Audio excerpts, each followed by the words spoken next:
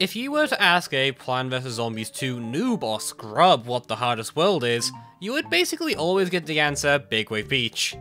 Often followed with Screw Zombie or something of a like. It's a sentiment shared by the community at large, though some people believe Jurassic Marsh is actually harder, which I do agree with for the most part. This is irrelevant, however, as Big Wave Beach is also a fairly beloved world by top tier players. Yet, most mods won't put it as the final world. For example, in vs. Eclipse, it's only the 7th world, with Jurassic Marsh, Far Future, and Neon Tour all placed after. Why is this? Well, because Big Wave Beach isn't actually all that difficult of a world. Yet, people still struggle with it. All the time. Big Wave Beach doesn't fight fair. That much should be clear, but how it doesn't fight fair? It's practically exclusive to itself. Big Wave Beach isn't hard because mechanics are impossible to deal with. It's hard because the game tells you how to get countered by the world. It's a world that punishes rookie mistakes, to an extent no other world has really seen since. Big Wave Beach fails to teach the player how to deal with it, and I think this is a very interesting design choice that I disagree with entirely. But before we get into that, let's cover the basics of this world, eh? Big Wave Beach is a world based on American tiki culture, broadly. This is when surfing started to get super popular too. It's also one of the most questionable lawns to me. It was pointed out to me at once that the game never says the player moves from each time period, so there's just randomly a beach here now. This is knowledge I was cursed with, and you shall now be cursed with too. Anyways, the gimmick of this world. Inspired from vs Zombies 1's pool, the field will now be partially drenched with water. The tides will change constantly throughout the level, the player will be told where the tides can head up to by a line of seaweed. Plants will die if the tide goes up and they aren't on a lily pad, so lily pad is mandatory to get anything done with Big Wave Beach. And Intia's 25 Sun, and a separately recharging plant, the planet water tiles, is a very notable problem. This world also has an ambush, low tide. Low tide will cause the tide to recoil and head backwards, but spawns a bunch of zombies on the tiles it needs to inhabit. All just in tiles it never got close to, because screw you. This adds further danger of plants on lily pads or in the front line, as zombies can't really just spawn on top of them at any time. Low Tide can also spawn any zombie, not just basics, including Gargantuars, which is about the most terrifying thing that Vanilla can throw at you frankly. Big Wave Beach has two sets of basics, though this doesn't really make much of a difference to anything. More notable are its four special zombies, which I will talk about in the order they are introduced in. Snorkel Zombie is a returning zombie from the first game, and is very similar, being entirely submerged into water and only able to be attacked while they're eating a plant. The main difference in Plant Zombies 2 is that catapults are more readily available. In Plant Zombies 1, they can also be hit with catapults, though you get your first catapults after all water levels in the main game are done. It's not uncommon for mods to make them immune to catapults, though this isn't really a necessary trait. Snorkel is a zombie that will clog up your front lines, and encourages the usage of wall plants, such as Walter and Durian, to drive them up. However, as Catapult and vs Zombies 2 are consistently some of the best plants in the game, you may just want to bring Winter or something, and render the threat mute. I won't judge. Otherwise, Snorkel Zombie is actually my favourite zombie in this game. He friends the front line pretty often, and encourages usage of walls, which the rest of the world does not. He's a minor for this world, the zombie that you can't ignore, but he isn't in the top 10 most dangerous zombies or whatever. I like him. Next up is my sworn nemesis, Surfer Zombie. Surfer Zombie is also debatably the most glitchy zombie in PvZ history. Like, he consistently breaks and doesn't work. He has two states, a surfing state and a walking state. He'll spawn in his first one, moving at incredibly fast speeds for a zombie and ignoring all plants he flies over. Defeating him at this phase is best, though this can be a challenge due to his speed and an inability to be stalled by walls. Once he reaches the tide line, he will fall off and enter a second, and more dangerous, phase. Surfer's surfboard will now be held above him. This will act as armor for lobbing attacks, though the splash from other catapults will hit him normally, which basically every catapult has. Anywho, when he reaches a plant, he will try to kill them with his surfboard. This is an instant kill on anything, and will spawn a surfboard on a space, which will act like a makeshift grave. He will also drop his surfboard on death, unless his death animation is somehow interrupted or changed. This drop is extremely inconsistent, and can really be about anywhere it wants to be, making him way more dangerous than needed though he does seem to prioritize plants over empty space. however they broke him a while back. When he tries to place a surfboard in water, it will just instantly break and deal no damage. You'll also always try to attack lily pads behind him when he spawns in a second state, and will waste a surfboard on them. This makes him a lot easier to deal with, but if you can't deal him like this, he will just spam surfboards everywhere and wreck everything. Absolute pain, and he's incredibly inconsistent. His surfboard feels like has a mind of its own and just goes wherever, it's the worst place he can go. Moving on, Octozombie is the most hated zombie in the game. He will throw his octopi at the closest plant in his lane, and when it lands, the plant will be disabled. You will need to do significant damage to remove a squid from the plant, otherwise that tile will be entirely useless to you, acting like a or grave. Once removed though, the plant will return. Octozombie has a lot of counters, though they do have a habit of entirely locking down lanes, and generally are a big enough problem to be wary. It doesn't help that they have a lot of HP, essentially being in between a Coned and a Buckethead, a lot for any zombie. It has a lot of cheese too, which I won't go into for the value of time. Finally, we have Fisherman, the worst zombie in this world. Unlike most zombies, he is stationary, akin to Cannon King. Unlike those, however, it's a much more active threat, he his line, which will then grab the furthest right plant in the lane and drag it towards himself by a tile. This may seem minor, but there's a few things to keep in mind. Firstly, the furthest right plant is probably in a lily pad, and most likely is close to tide. If plant goes over tide, it will just die, instantly. And fishermen are fairly rapid too, there's not a whole lot of counters.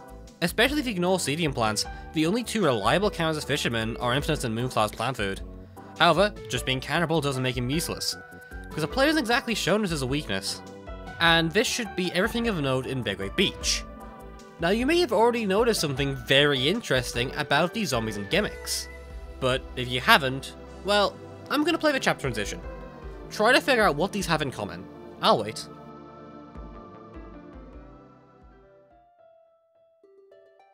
Have you got yet? If you haven't, then all these zombies are really good at one thing. Damaging your front line. Even Tide and Low Tide build into this, being specifically gimmicks that target the front line. Everything attacks the front line. And this is a big problem for a reason you may already know, because, well, people don't actually know what goes on the front line. You may have noticed on my footage, but I don't put my main attacks at the front. I put my sunflowers at the front. This isn't a mistake, but because it's optimal, and downright required to make Big Wave Beach a fair fight. Seriously, while sunflowers are valuable, sunflowers alone don't win you the game, your attackers do. In most cases, you can recover from losing a sunflower, but can't recover from losing your main attackers, and by doing this, you're ensuring that, worst comes to worst, you can still fight back. This isn't nearly as relevant in most other worlds, as wild zombies friend front line, they tend to have significant or notable weaknesses.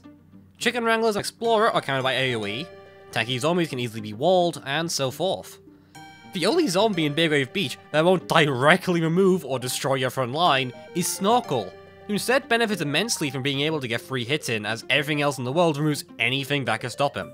As a result, generally, the front line should be the plants you are most willing to lose and for the most part, these will be sunflowers or other sun producers. And doing this increases your survivability significantly.